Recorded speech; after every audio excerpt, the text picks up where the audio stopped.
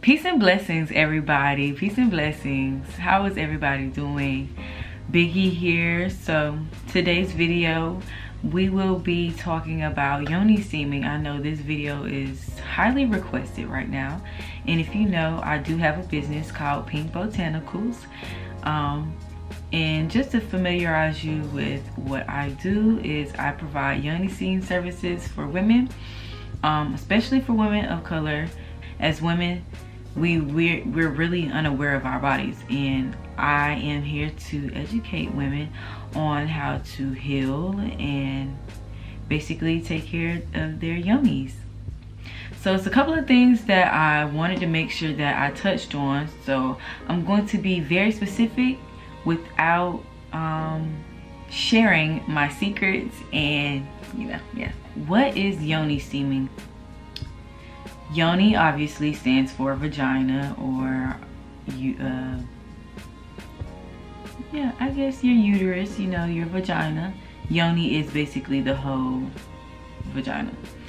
And yoni steaming is the process of detoxing the yoni, steeping over a pot of herbs, of water, and flowers. Usually the herbs are flowers, um, herbs that you use from out of the kitchen, things of that nature um, and this helps usually detoxify strengthens um, replenishes and rejuvenates the vagina. That's what yoni steaming is. So yoni steaming has some extremely great benefits and i know a lot of people are always asking me like brittany what like how is this beneficial? What why am i yoni steaming? And why do you yoni steam? So I'll give you my personal story really quickly, really brief.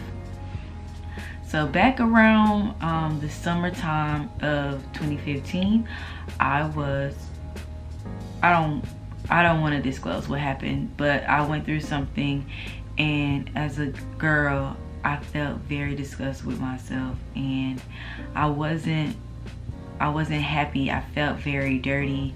I just didn't know what to do. I felt lost. I had went through a breakup just then. I was a freshman. This was my well, this was the spring semester of my freshman year in college. And I just, I didn't, I just, I felt nasty and I didn't know what to do. And as a spiritual person already, I was going to church at the time and well not necessarily I really wasn't going to church by then like by by the time I got in college, I really had stopped going to church. And that's because that was a personal choice. I didn't I didn't want to go to church no more. Don't come for me. So I did what I knew best and I prayed about it and I just asked God, I fast. I went on a 30 day fast. No, I went on like a 60 day fast because I fast that whole summer and I I was pescatarian I fast from sex. I really didn't talk to people like that. I tried to really get to know myself. I went back natural because I was natural when I got in college, but then I permed my hair again. It was just a lot of crazy stuff. So I asked God to show me something, like give me something to make me feel better. And I found this lady and let me she has a book called but the book that i have is downstairs and this lady she introduced me. It's like woman woman i forgot. It's by afua queen afua and she talks about um altars um all of that. Like somebody led me to that. A lady off of youtube that i follow led me to that. That led me to ask god you know like what should i do? Da, da, da, and i just started reading the book. When I started reading the book, I found Yoni Steaming and I was like, what, the, is that? This seems cool. So I read up on it and then I Googled the benefits because I mean, I read it in the book, but Google never hurts. So I looked on Google and I checked it out and I was like, wow, this, this seems like something that interests me. So what I did was I got my tools together. I have already, I already had um, two two steel pots, like mixing pots. So I use one to boil the, um, one to like hold the mix and then one to like hold the herbs when I'm gonna um, like steep over them. And then I got, um, I use an old trash can and then I put it in the trash can and then I um put a towel over the trash can like around the trash bin so it like wouldn't sting my butt and then I had a towel not a towel but like a blanket that I used. And I wrapped the blanket around my waist. And I steeped over the those herbs for 20 minutes. And when I was um, researching um, I, I, read a lot about it what women would do on while they were steaming. And what I found most comforting was meditating talking to God and reading reading and writing on the pot that's one thing that I enjoy is reading and writing on the pot. Usually I'm reading um, affirmations and I'm writing what I could do to better myself and um, what my day was like and um, why I love myself. And I actually have an affirmation book by this lady and um, I was reading and writing from, she had like a reading affirmation book and a writing affirmation book. So I was doing both at the same time. A couple of reasons why Yoni Steaming is like the freaking bomb. Uh, I have it here listed. And if you go on my Instagram, um, which is at Pync Botanicals on Instagram, I have 10 benefits, 10 reasons why you should Yoni Steam and one it detoxifies the young the womb and the body of impurities toxins and more. And usually these are like scar tissues. Uh, like if you've had an STD before and you've got rid of the STD it like cleans out that. Um, if you've had like a miscarriage it it detoxifies like that the impurities of that toxins of like another man's Johnson being in you. You know like the juices of somebody else being inside of you as well as oh as well as like if you've been through something traumatic as rape. And um it helps with coping with that. Like believe it or not i know like i'm speaking on like it being a healing a healing agent that it is but as well as like healing your heart like it, it does. Like it truly heals your heart.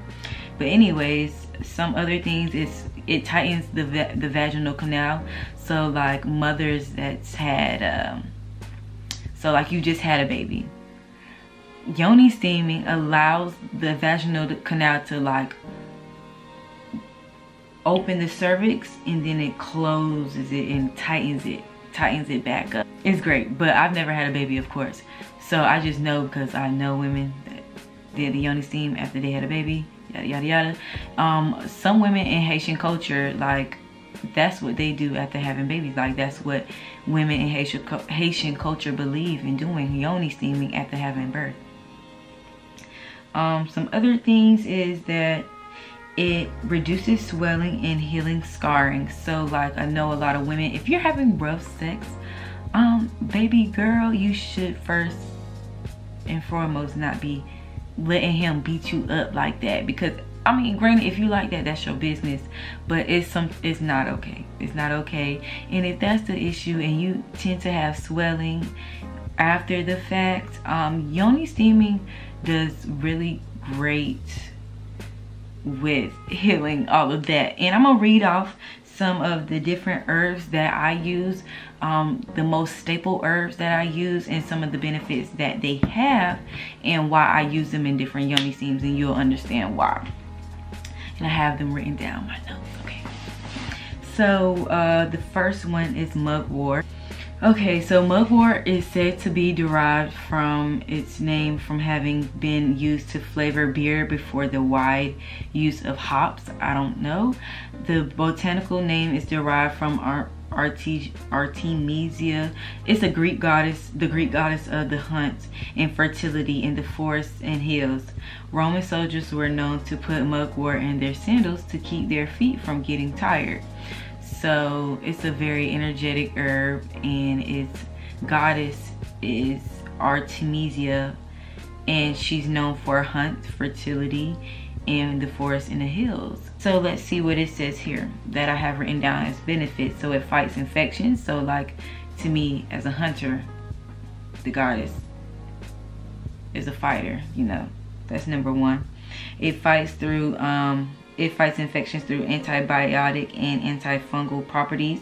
It balances the pH and stimulates the production of hormones and uh, protects the uterus from ulcers and tumors. It also eases cramps and stimulates the menstrual discharge, in which your menstrual discharge should be clear. Usually during your cycles, after you have your cycle, you should have a clear discharge. But so um, mugwort, I really like using it in a, pretty much all of the uh, blends that I have. So another herb that I usually use is rose petals. Rose petals, of course, we're all familiar with rose petals. They're pretty much everywhere. I'm not gonna really wear, read where um, rose petals derive from because like rose petals are everywhere. So some of the benefits of rose petals are that it boosts the immune system and it is an anti-infective and anti-inflammatory antioxidant for UTI prevention and treatment. So if you have like a UTI, it can help clear it up. And it also helps prevents from having UTIs, inflammation, things of that nature. So you know, uh, like how, was how I was discussing inflammation, uh, scarring, and swelling in the vaginal canal. Rose petals can help ease that. Um, it also cleanses the blood and eases cramps. And when we say cleanse the blood, it is like when you have a cycle, ladies, when you have a cycle sometimes at the end of your cycle you have like brown blood. Yeah like you i call it the aftermath. I don't know what y'all call it but i call it the aftermath.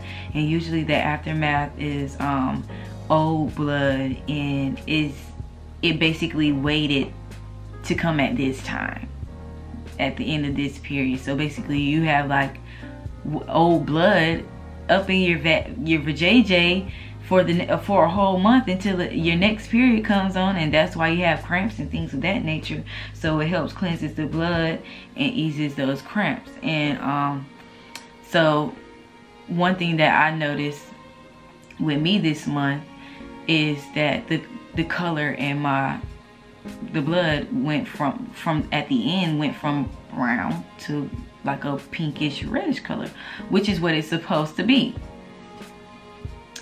so another herb that I usually use is chamomile. And if you're very familiar with chamomile, chamomile is a calming and soothing herb. So it helps with um, basically calming down the nerves and stimulates the blood flow in the vaginal canal and allows it to basically have a steady um, flow of blood through the vaginal canal, you know. So if you do have inflammation or swelling, it also helps with um, calming down the swelling and soothing the vaginal canal. Let's get into um, some of the tools that I use. Ashe, welcome to my floor guys. So I'm gonna do a really quick tutorial on how you can yoni steam at home by yourself with no assistance. So if you don't have the things that I have, it's okay. I will list the things that you can use at home that I'm sure that you do have, okay? Everybody got pots and pans, right? So, the first thing that you're gonna need is the herbs, okay? So this is the ultimate blend that I have here that I sell and it's, it looks like a this. So, the next thing you'll need is a kettle. I use this kettle. Uh, I got it from Target.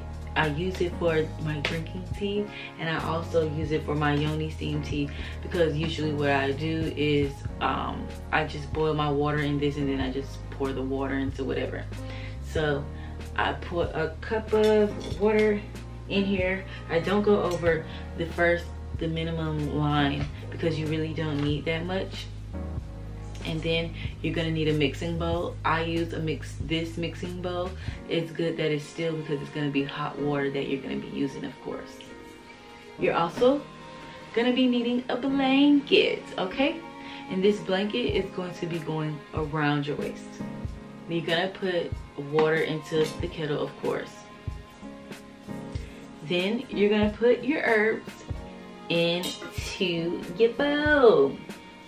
Once your kettle is poop, it pops, it's ready. You're gonna pour the water into the pot. Some water just really just fell in here, but it's okay. So it's probably hot as shit. Don't touch it like how I'm touching this, of course not. So after you get your herbs into the pot, I just squat like this. I stick the bowl up under me like so and I squat over it. I take a blanket and I wrap myself in the blanket. Okay?